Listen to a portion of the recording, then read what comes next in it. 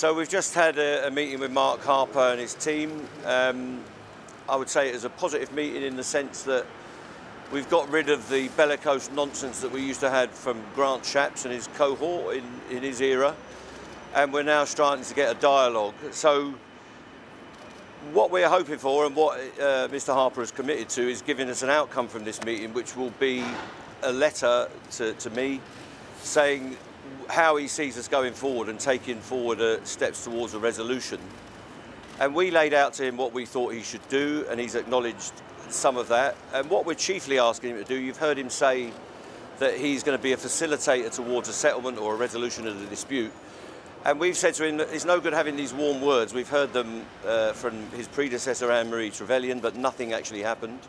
So we want him to set down in writing what he's going to do about the mechanics of how a resolution will be facilitated. Because we've, at the moment, we've got even got doubt about the authority of the people we're speaking to, who are called the Rail Delivery Group, and they are telling us they have no authority to, to negotiate.